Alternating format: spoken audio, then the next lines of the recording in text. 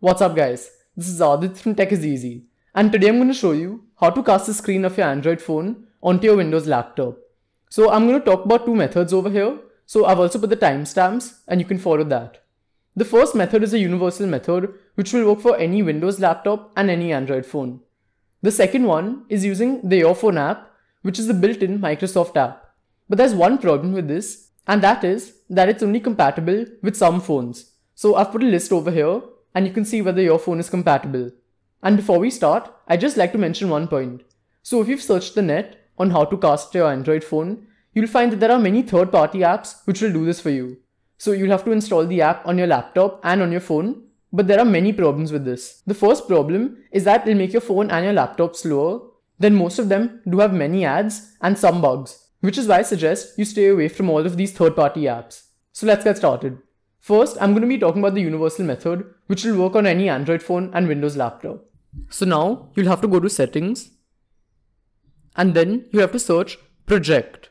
So we'll have to go to the projection settings. So that's the first option.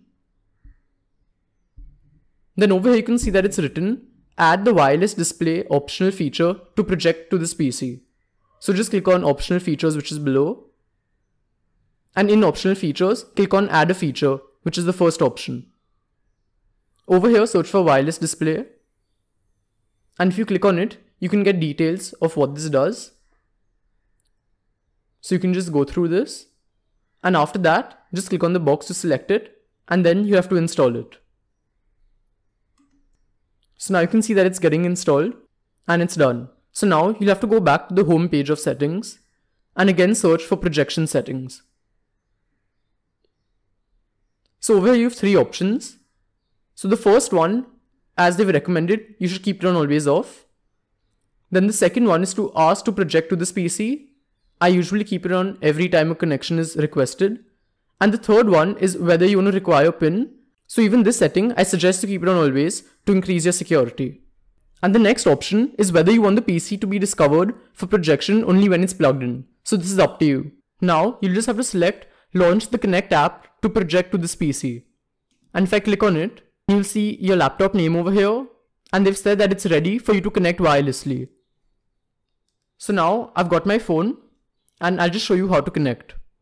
So you'll have to go to your notification panel and in Samsung, they've called the cast option as Smart View. So you'll find Smart View over here, but if you don't find it over here, you can just go to settings and then search for Smart View. And you have to make sure that the Wi-Fi on your laptop and your phone are on. And once that's done, just click on Smart View. So from phone to other device, the option S has come, which is the name of this laptop. And if I click on it, I'll just have to click on Start Now. And now if you see, there's a pin which is showing on the laptop and I have to just enter that on my phone. So I'll quickly enter it. So now I've entered it. And now you can see that the phone is showing on the laptop. So whatever I do over here will show on the laptop. So if I go to YouTube and I'll just show you my last video. So now I've just gone to my last video and I've made it full screen on my phone and it's become full screen on the laptop as well. So whether you want to see a movie or if you want to play any game, you can do all of that on full screen. So this is basically how it works. So now I'm going to show you the second method and this is primarily only for Samsung phones right now. They are going to add more phones to this list but right now it's only for the Samsung A series, S series and they have some other phones. So now I've opened the Your Phone app which is on every Windows laptop. So you can just search for it and you'll find it over here. And if you haven't logged in, you'll just have to log in with your Microsoft ID. So over here, I have my Samsung phone and if I just search link to Windows and then just click on add computer. And now you just have to sign in with the same Microsoft ID that you did on your laptop. And after that, your laptop and your phone will be connected. So once it's connected, just switch this on. So now my laptop and my phone both are connected. You'll again have to make sure that the Wi-Fi is on on your laptop and your phone. So now both are connected. And if I just go to the app section, so I'll find all of my apps over here.